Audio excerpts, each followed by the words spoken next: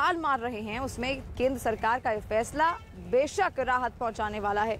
एक बार फिर से आपको बता दें कि लगातार सब्जियों के दाम बढ़ते जा रहे हैं और मुंबई का भी कुछ ऐसा ही हाल है। मुंबई में भी जो सब्ज़ियाँ कभी 20 रुपए 40 रुपए किलो मिलती थी, आज उनके दाम 80 और 100 पार कर गए हैं। तो सोचिए, लोगों के जेबों पर कितना बोझ उन पर पड़ रहा होगा, किस तरीके की तकलीफों का सामना उनको करना पड़ रहा होगा।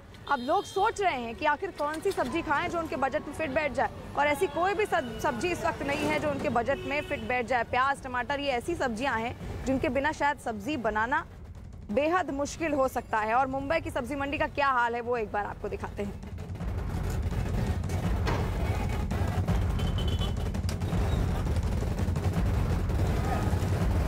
तो मुंबई में भी लगातार तकलीफों का सामना कर रहे हैं लोग, क्योंकि वहाँ पर भी सब्ज़ी मंडियों में हाल बेहाल है। लोगों का, सब्जियों का जो भाव है, वो लगातार बढ़ता जा रहा है। और अभिषेक पांडे मेरे सहयोगी मेरे साथ इस वक्त मुंबई, कांदीवली सब्ज़ी मंडी से जुड़ चुके हैं। अभिषेक, क्या स्थिति है इस वक्त? क्या भाव वहाँ पर सब्जियों के हैं और किस तरीके से लोग इन भावों का सामना करना पड़ रहा है उनको? क्योंकि बजट जो है वो बिगड़ता हुआ दिख रहा है। बिल्कुल, मैं कांदीवली इलाके में हूँ, शिवानी। यहाँ पर सब्ज़ी मंडी में हूँ। यहाँ पर ये बेसिकली रिटेल सब्ज़ी मंडी है, जहाँ से लोग लेकर जाते हैं अपने घरों के लिए। लेकिन जिस तरीके से बजट पहले था, वो फ़िलहाल बिगड़ता हुआ नज़र आ रहा है क्योंकि सब्जियों के दाम लगातार आसमान छू रहे हैं और हमारे साथ दुकानदार हैं हम इनसे पूछते हैं कि आप ये बताइए कि अभी सब्जियों के क्या रेट हैं और एक हफ़्ते पहले कैसे थे? सर एक एक हफ़्ते पहले सीधे इसके आधा था अभी एक हफ़्ता में सीधे डबल हो गया है ऐसा हो गया है। तो आप और आप इससे कस्टमर्स कितना पहले सामान जो खरीदते थे उसकी अपेक्षा आप कितना बिक्री कस्टमर पहले जो कस्टमर पहले एक किलो लेता था अभी आता है तो पाव किलो लेता है।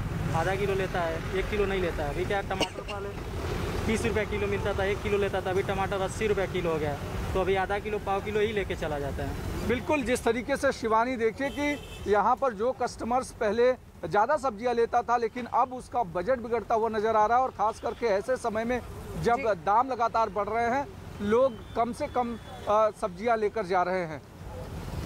जी बिल्कुल, और लोगों को कई सारी दिक्कतों का सामना करना पड़ रहा है, लेकिन देश की और अन्य सब्ज़ी मंडियों का क्या हाल है, वो भी आपको दिखाते हैं। किस तरीके से लोग परेशान हैं, देखिए।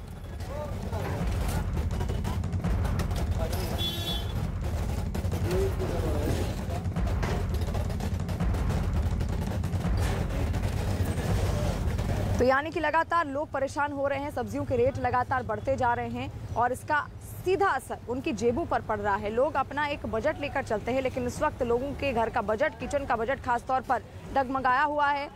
थैले के झोले जो है, झोले सब्जियों के लोग लेकर पहुँच ज़रूर रहे हैं सब्ज़ी मंडी, लेकिन उसमें जो सब्जियों की संख्या है, वो अब बेहद कम हो गई है।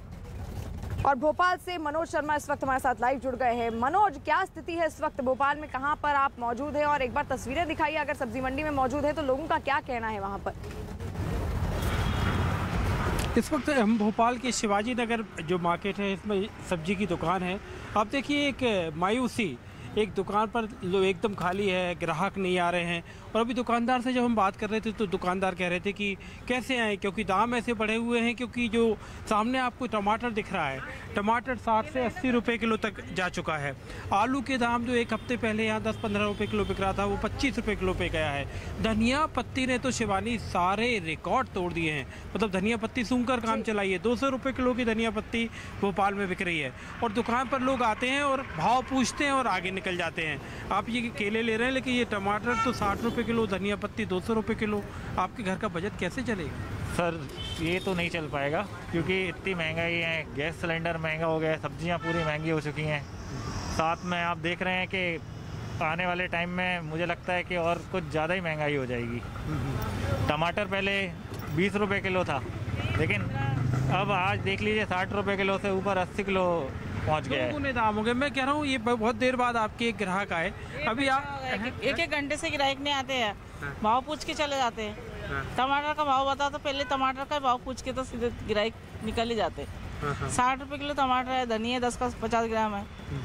हमारे प्याज चालीस रुपए हो गई आलू पच्चीस मतलब ये इस गलत फहमी में ना रहे कि दुकानदार मुनाफा ज़्यादा कमा रहा है दुकानदार भी रो रहा है। मतलब आपके लिए तो आमदनी कम हो गई दिन की। पूंजी नहीं निकल पा रही हमारी जो पूंजी लगाते हैं वो शाम तक जमाना मुश्किल हो रही। क्योंकि जो माल लाते हैं उसके पूंजी आ नहीं पा रही क्योंकि महँगाई की वजह से कोई लेते ही नहीं ज़्यादा महँगाई की वजह से लोगों ने अपना बजट जो है शिवानी वो दो किलो आलू लेने वाला एक किलो आलू लेकर लौट रहा है टमाटर तो पाव पर आ गया एक किलो का जो टमाटर लेता था वो एक पाव टमाटर लेके घर लौट रहा है।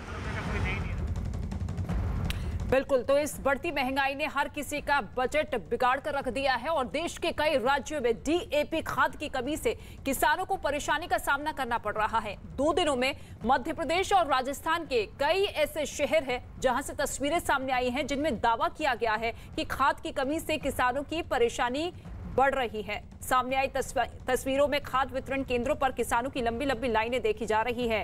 कई जगहों पर पुलिस ने लाठियाँ भांजी तो कई जगहों पर किसानों में आपस ही झड़प होती हुई नज़र आई। ये तीन तस्वीर आप देखिए राजस्थान, मध्य प्रदेश की, जहाँ पर किस तरीके से लंबी लंबी कतारों में ये किसान खड़े होने को मजबूर है, क्योंकि खाद की कमी है और ऐसे में घंटों लाइन में लगने के बावजूद खाद इन्हें नहीं मिल पा रहा है।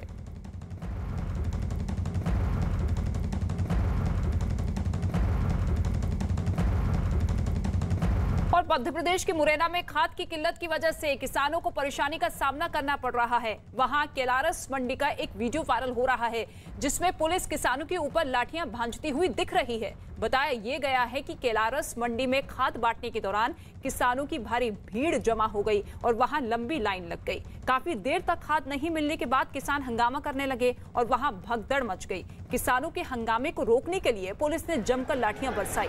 इससे पहले भी इसी मंडी में दो बार खाद के लिए हंगामा हो चुका है और ये तीसरी बार हंगामा होता हुआ देखिए किस तरीके से मंडी में अफरा तफरी का माहौल मचा। हालाँकि इस भीड़ को काबू करने के लिए पुलिस को लाठी चलानी पड़ी, लाठियाँ बरसानी पड़ी और उसके बाद ये पूरा का पूरा मामला शांत हुआ। खाद की कमी के चलते लगातार किसानों की मुश्किलें बढ़ती हुई नज़र आ रही है। पहले बेमौसम बारिश हुई, फिर बिजली का संकट गहराया और ऐसे में अब खाद की किल्लत इतनी ज़्यादा है कि खाद वितरण केंद्रों के बाद ये लंबी लंबी लाइन जो आप देख रहे हैं, ये तमाम किसान मौजूद है जो कि इसी आस में खड़े हुए हैं कि किसी भी तरीके से उनको खाद मिल जाए ताकि उनकी जो खेती है वो हो पाए।